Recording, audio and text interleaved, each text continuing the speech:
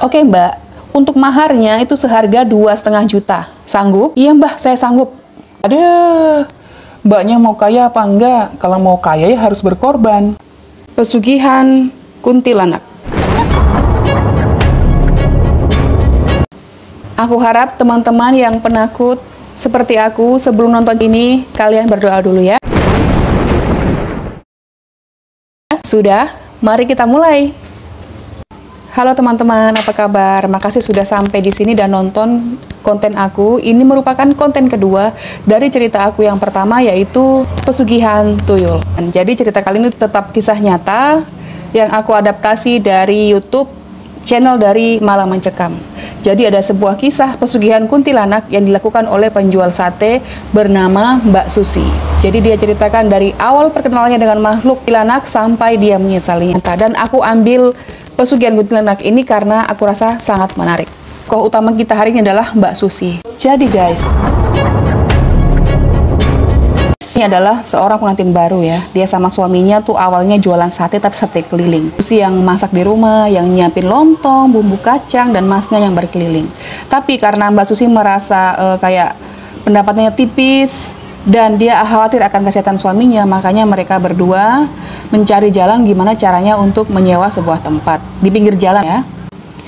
Dan baiknya Mbak Susi dapat tempat di depan ruko dan dia bukanya cuma di malam hari. Jadi ruko itu ruko kosong dan di depannya tuh disewakan gitu. Dan dia nggak sendiri, ada penjual nasi goreng, penjual uh, es campur, gorengan, dan penjual sate lainnya juga ada. Setelah beberapa bulan berjualan di depan ruko itu, Mbak Susi tuh hamil ya. Tapi walaupun hamil, dia nggak absen dari membantu suaminya. Lalu pas melahirkan, anaknya dititipin di rumah ibunya dan dia lanjut berjualan seperti biasa.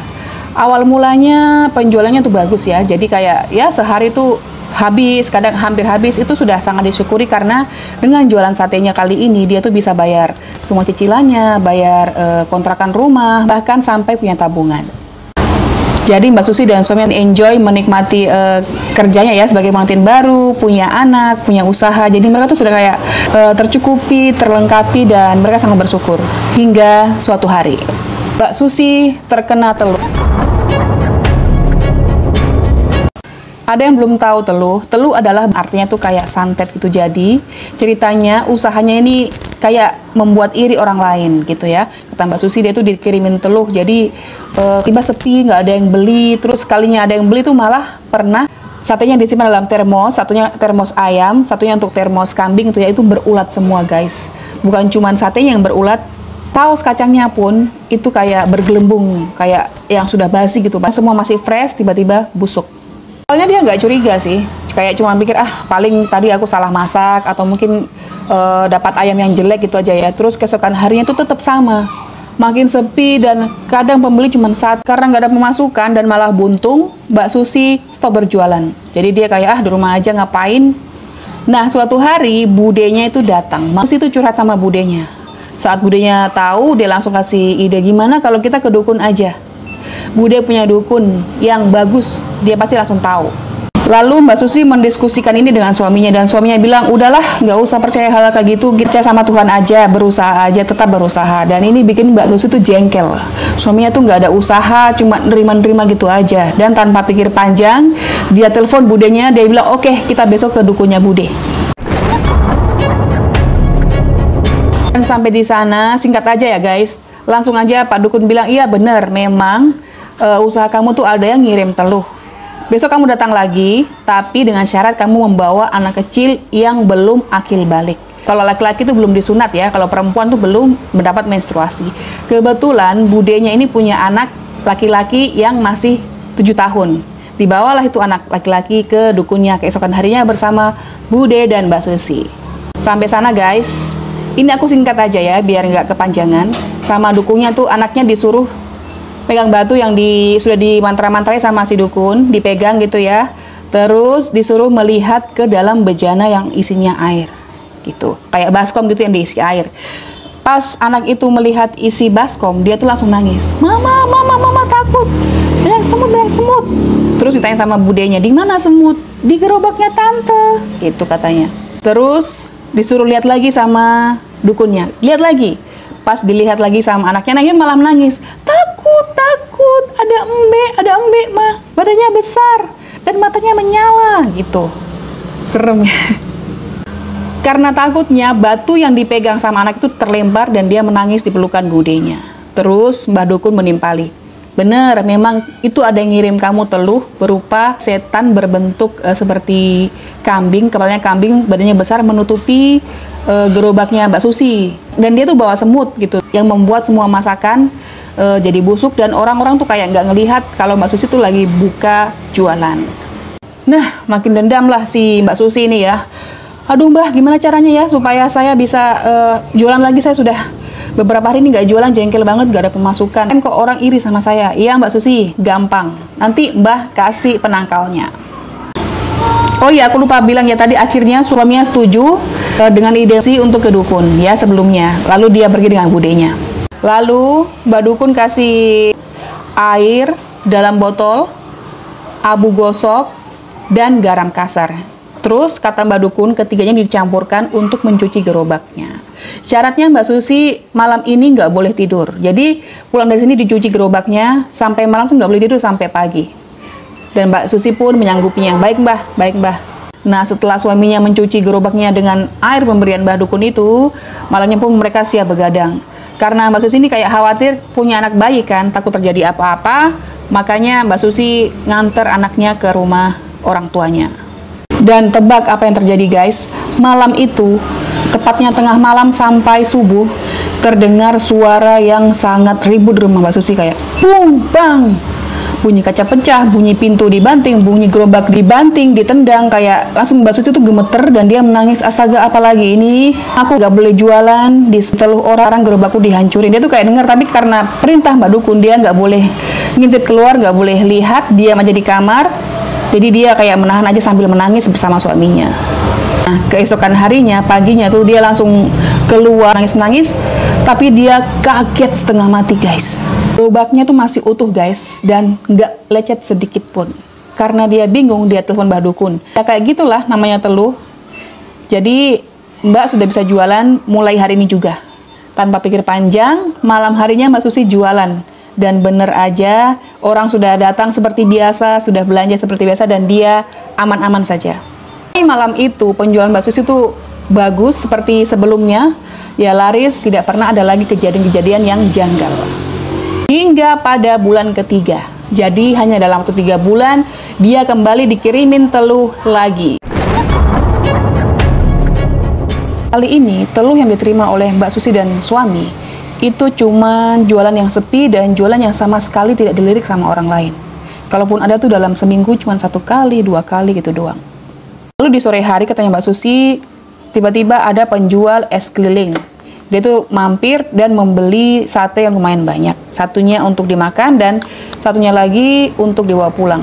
Itu kalau nggak salah katanya tuh satu kodi atau gimana hitungannya ya? Nggak, nggak ngerti. Pokoknya intinya dia beli banyak e, sebagian dimakan di warung dan sebagian lagi dimakan di rumah gitu.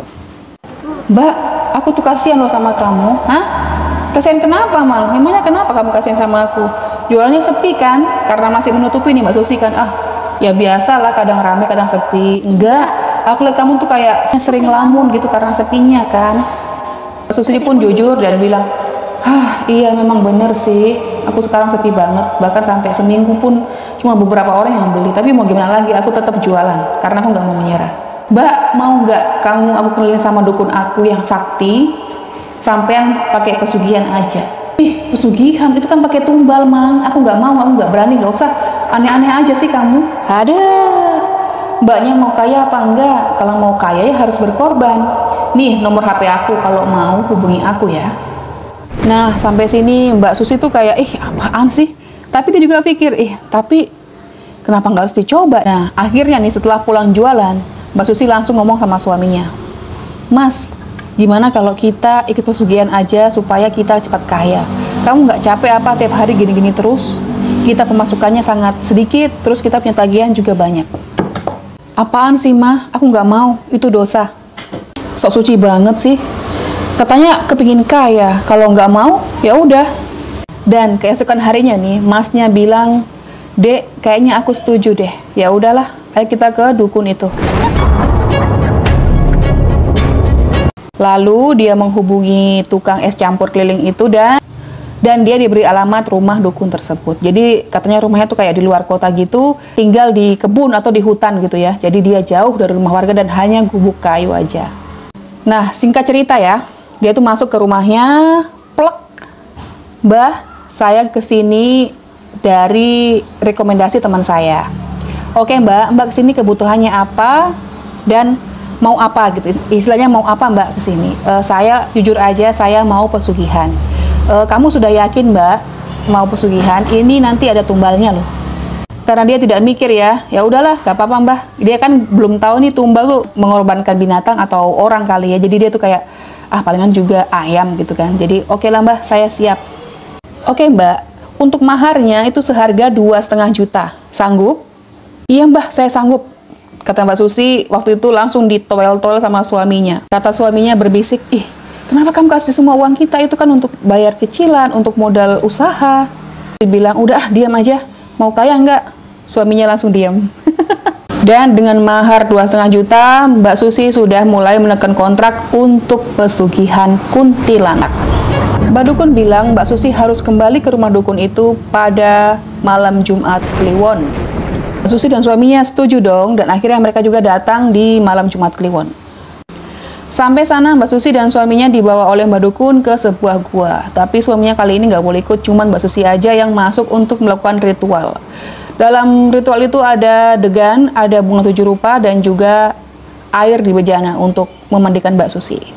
Singkatnya, setelah ritual bla bla bla, baca mantra bla bla bla, hening di dalam gua itu, Mbak Susi tiba-tiba mendengar suara kayak kubrak, itu sebanyak tiga kali. Intinya kayak ribut itu ya selama tiga kali. Lalu guys muncul sebuah sosok yang sangat mengerikan. Katanya tuh tinggi besar berbulu lebat dan panjang bulunya itu bulunya kayak kawat seperti kawat cuci piring panjang-panjang gitu dan dia datang untuk menghampiri Mbak Susi saat berhadapan-hadapan dengan Mbak Susi makhluk tersebut langsung memalingkan muka Cing! Mbak Dukun bilang Duk, dia nggak mau sama kamu, dia nggak suka sama kamu, intinya nggak cocok gitu ya. Terus makhluk itu pergi. Sebenarnya Mbak Suci itu takut tapi demi kaya dia tuh sudah sudah hilang takutnya gitu kayak ya ya udahlah gas aja gitu.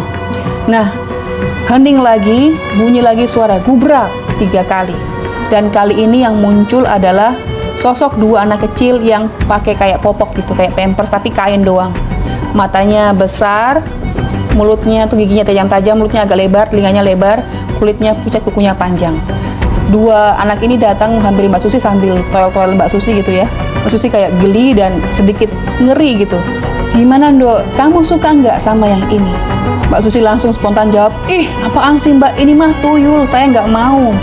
Terus mereka diusir sama mbaknya sambil tertawa. Lalu datanglah sosok makhluk yang ketiga. Kali ini, kata Mbak Susi sebelum dia muncul itu, dia sudah merinding, takut, beda dari yang awal-awal. Lalu muncullah makhluk yang mirip dengan pertama tadi, tapi ini sosoknya lebih besar dan bulunya lebih panjang lagi. Cepat Mbak Dukun bilang, gimana dok, yang ini gimana? Saya mau Mbak. Jadi makhluk ini tuh maksudnya kuntilanak ya guys. Kuntilanak ini tuh ngomong sama Mbak Dukun, agak jauh dari Mbak Susi gitu katanya. Mereka ngomong-ngomong gitu langsung dia nyambut bulunya tiga helai. Dikasih ke Mbak Dukun dan sama Mbak Dukun ditaruh di kain putih diberikan kepada Mbak Susi. Ini dok, kamu simpan di dompet. Nah, setelah mendapatkan makhluk kuntilanak yang Mbak Susi mau, mereka pulang menuju pondok Mbak Dukun. Sampai di rumah Mbak Dukun, Mbak Dukun bilang, mana dok rambutnya sini, kasih aku sebentar. Dibaca-bacain mantra nih sama Mbak Dukun, rambut eh, rambut yang di dalam kain putih itu diambil, ditaruh di dalam beras, beras di sebuah baskom gitu ya setelah ditaruh, dibacain mantra lagi, terus nih sekarang kamu lihat ke dalam baskom itu. Setelah dilihat sama Mbak Susi, Mbak Susi tuh kaget, hah? Kenapa ada gambar muka bapak di sini? Ah, ini kan muka bapak saya, kenapa kok saya bisa melihat bapak saya di dalam beras ini? Mbahnya dengan lirih bilang, ya itu, dia mau tumbal ayah kamu. Di sini Mbak Susi tuh nggak terkejut katanya dia tuh kayak biasa aja nggak pikir panjang kayaknya ya udah mbah siap saya setuju oke okay. tidak ada merasa kasihan kayak atau gimana atau bertanya-tanya atau mungkin tawar menawar ya dia tuh langsung oke oke aja gitu dan langsung mereka pulang ini posisinya dia sama mbak dukun sendiri dalam ruangan dan suaminya menunggu sama orang yang ngantar mereka ke rumah dukun tersebut Gila nggak sih? Karena Mbak Susi ini sudah nggak pikir panjang lagi kalau bapaknya mau dijadikan tumbal oleh kuntilanak itu. Gila. Langsung aja ya ke hari berikutnya. Jadi keesokan harinya Mbak Susi tuh langsung jualan ya dan laris. Dan biasanya tuh katanya pulang tuh kan jam 7 jam 8 ini baru buka, jam 3 buka, jam 4 atau jam 5 tuh sudah pulang. Dan bener aja guys, keesokan harinya, day by day, setiap hari, omsetnya terus bertambah, terus bertambah, dan bahkan hingga 8 juta per hari. Katanya tuh ya, orang tuh sampai ngantri panjang, cuman mau beli satenya aja. Dan saingannya yang dia curigai ngirim telur itu cuma nonton aja gitu dan nggak berani lagi untuk ganggu Mbak Susi lagi. Ini udah berjalan beberapa bulan ya guys, jadi makin rame makin rame dan uang Mbak Susi makin banyak ya, makin uh, makin kewalahan. Akhirnya dia tuh kayak nerima karyawan dan sampai punya karyawan. Sampai punya karyawan pun masih kewalahan lagi nambah karyawan lagi gitu. Makin besar warungnya dan diperbesar area warungnya. Saat dia kaya kayanya guys. Jadi sebelum setahun ya itu sudah dia sudah kaya kayanya inginan ingin punya ruko. Ruko itu yang yang dia pengen tuh ruko yang di tempat sewanya ini yaitu di depan ruko itu. Dan ruko ini katanya katanya nggak mau dijual sama pemiliknya berapapun harganya karena tuh sayang banget sama ruko ini. Dan Mbak Susi pikir dia tuh kayaknya sudah suka sama ruko ini. Jadi setiap uh, pemilik ruko yang datang makan itu nggak pernah dia terima uangnya. Pokoknya dikasih aja. Uh, mau, mau makan berapa banyak keluarga pun tetap digratisin gitu karena dia tuh kepingin punya ruko ini. Sekali ya dan dia tuh kayak menghubungi dukunya gitu uh, dibilang suruh tuh ada mantra yang dia baca gitu. Intinya tuh gini e, minta sama buyut kunti apa yang kamu mau. Jadi dia tuh kayak membatin berdoa gitu supaya e, apa yang dia mau tuh tercapai. Kali ini dia kepingin punya ruko itu. Pas dia baca mantra itu di rumahnya ya di kamarnya sendirian gitu muncul sosok itu di depan matanya. Muncul doang langsung hilang lagi. Kekan harinya tak ada angin tak ada hujan guys. Pemilik ruko itu datang kan makan gitu. Uh, wih mbak makin rame ya. Iya nih. Uh, makin rame gini kayaknya harus ini deh. Harus punya tempat deh. Gak apa-apa kamu beli aja ruko aku. Seneng banget nih. Akhirnya ruko itu terjual Susi sebesar 1,5 miliar rupiah. Dia nggak punya cash 1,5 miliar. Katanya boleh nggak saya bayarnya nyicil? Oh boleh kamu cicil 8 kali ya bisa nggak dia bilang oh bisa akhirnya dia cicil 8 kali guys dan dia dapat info dari Mbah Dukun lagi Mbak Nanti di bulan purnama jangan lupa bulu kuntilanaknya itu dimandiin sama darah. Gimana dapatnya? Saya harus ngobrolin siapa mbak? Aduh, kenapa nggak bilang dari awal mbak? Tenang mbak, itu mbak bisa beli di rumah sakit kok. Kan itu zaman now tuh semuanya dipermudah mbak. Gak ada maksudnya pun kayak mengelus dada astaga, kirain mbak ya udah nggak apa-apa. Uh, dia bilang katanya kalau nggak dapat bisa pakai ayam hitam. Bukan ayam cemani guys katanya. Ayam cemani kan hitam sampai tulang-tulangnya sampai dagingnya juga kan. Ini ayam yang bulunya hitam, nggak ada nggak ada warna lain selain hitam gitu. Dan akhirnya katanya Mbak Susi memakai ayam hitam. Jadi dia mandiin tuh pas bulan purnama ya guys, supaya uh, memberikan kekayaan yang lebih banyak lagi. Lalu tiba saatnya Mbak Susi harus memberikan tumbal.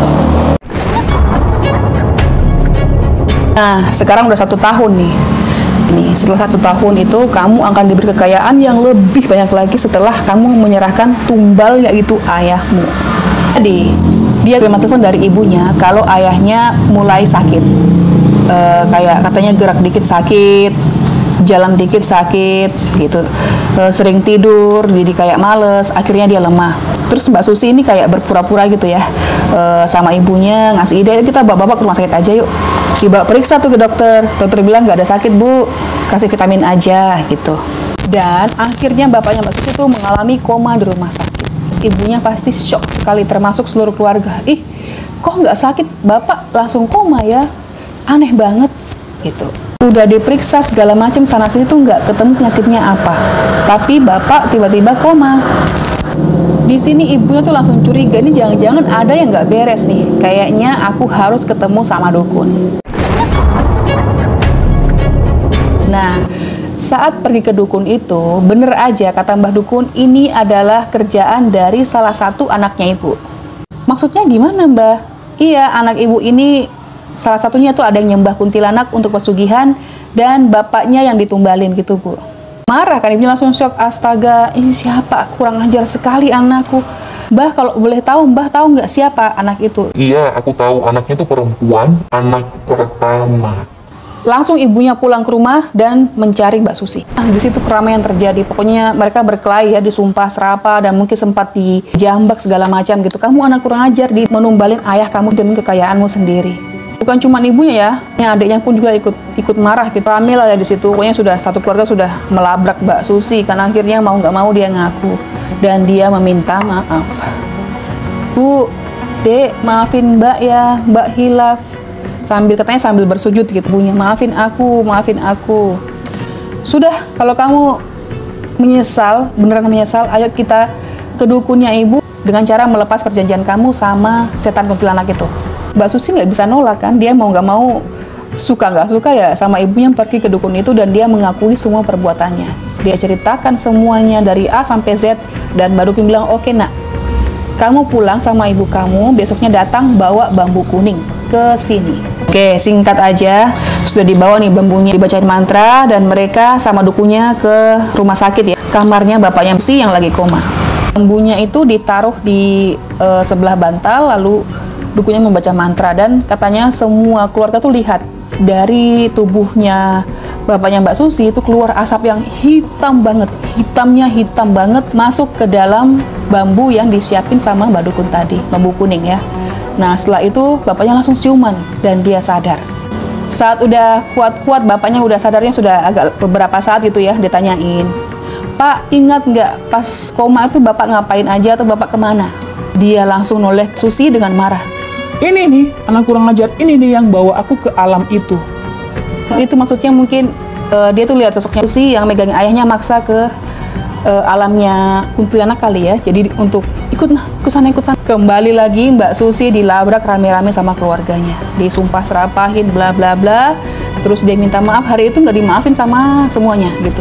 Karena pasti kan sakit hati banget kan dibuat seperti itu sama anaknya sendiri. Jadi seiring berjalannya waktu, Mbak Susi dimaafin sama bapak ibunya dan keluarganya. Ya guys, sekarang udah selesai nih masalah keluarganya sudah aman lah ya. Sekarang kita kembali ke kondisi Mbak Susi dan keluarga. Dalam waktu kurang lebih setengah tahun atau enam bulan, kekayaannya mulai luntur satu persatu. Ya, pertama katanya e, penjualnya sepi, lama-lama e, dia punya hutang, entah gimana punya hutang, akhirnya hutang untuk bayar hutang dan bertumpuk-tumpuk hutangnya. Tempat usahanya tutup, dan yang terakhir ruko yang dia beli itu akhirnya dijual kembali ke yang punya sebelumnya. Gara-gara masalah ini dia sering cekcok sama masnya dan akhirnya mereka bercerai sampai sekarang guys. Dan dalam pikirannya Mbak Suci pun bersyukur walaupun sedikit terlambat tetapi dia bisa memutuskan kontrak dengan kuntilanak pesugihan itu dan dia tidak jadi kehilangan sosok ayahnya yang akan dia jadikan tumbal. Nah segitu aja ya teman-teman kisahnya. Jadi di akhir cerita Mbak Susi tuh hampir kehilangan ayahnya dan dia menyesal akhirnya kehilangan seluruh harta bendanya. Jadi teman-teman semua dari kisah Mbak Susi ini kita semua bisa belajar bahwa semuanya itu kita harus usahakan sendiri. Step by step dan kita meminta tuh hanya kepada Sang Halik Tuhan yang Maha Esa. Makasih semuanya sudah nonton. Jangan lupa untuk like dan follow fanpage ini kalau kalian mau ke episode-episode berikutnya.